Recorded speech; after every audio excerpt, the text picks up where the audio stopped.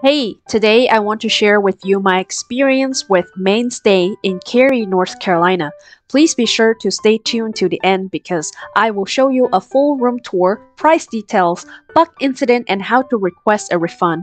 And most exciting of all, making hot pot at a hotel. Let's get started. So this is the neighborhood around the property. It's really nice, quiet, and safe. I think it's because there's a school and church nearby. It's a little hidden, so it may take a good look to find it at night time. This is the front parking lot. There's also a back parking lot, so there's a lot of space for parking. Now I'm entering the property. This is the front desk and check-in area.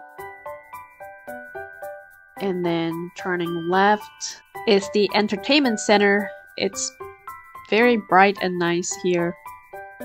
And now we're going to our floor.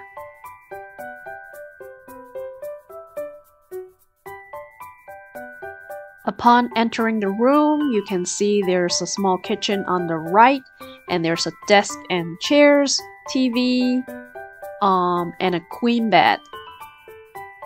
Turning here is the bathroom.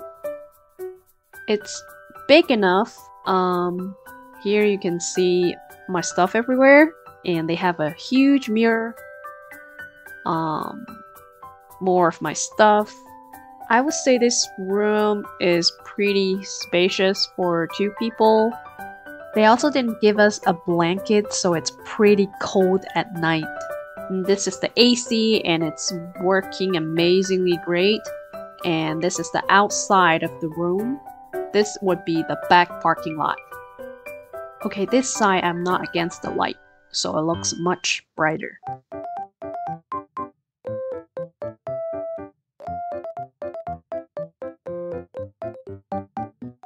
So this is the small kitchen.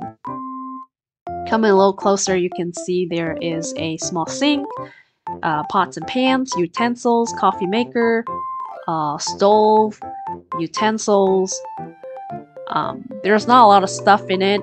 Um, you can't expect to make fancy meals. So yeah. And this is the dishwasher. There's also a microwave. And inside the cabinets, there's more uh, cups and plates.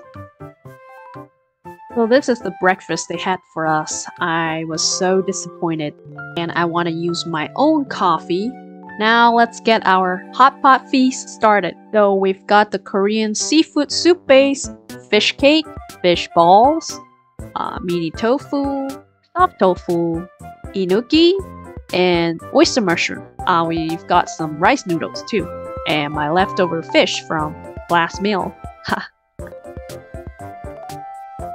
First, we'll start with putting some soup base into the boiling water and mix it well and then add in the fish balls and fish cakes.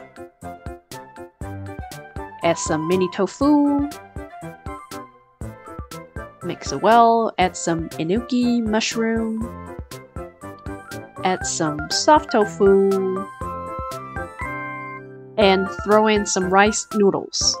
Ta-da! This is the final look of it. It looks pretty good. Yummy, yummy. Leftover dish.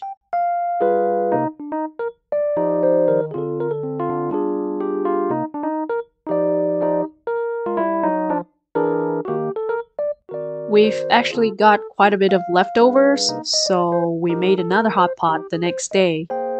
So there is mackerel we got from H Mart. I really like this mini tofu, and we added some instant noodle soft tofu, oyster mushroom, well, same stuff from yesterday.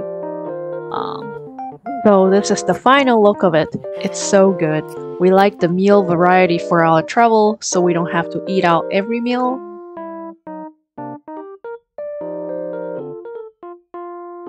Now it's a good time to share the price breakdown with you all. We booked this hotel through Expedia. The total price for four nights was about 342, averaging about 76 per night. The buck incident happened on the very first night when I got to North Carolina. I found at least like 10 bucks in this room, which was so horrible. So I talked to the manager the next day and she was quick to transfer us to another room and agreed to a partial refund because we decided to stay for the rest of the nights. We did think about booking somewhere else, but at this time the hotel prices were crazy expensive. Fortunately, we didn't find any bugs in the other room. So to summarize, this hotel is kind of the you get what you pay for deal. There's only one staff managing the whole property at any time, and a lot of the amenities like the laundry room was not working, and there was no fresh breakfast like I showed you earlier, which was not specified on the website. There is also quite a bit of back and forth phone calls between Expedia and the hotel to arrange the refund. Expedia had to confirm with Mainstay in order to process the refund, and the manager is only at the office for a short amount of time during weekdays. It's just so frustrating, and I'm just glad that it's finally done.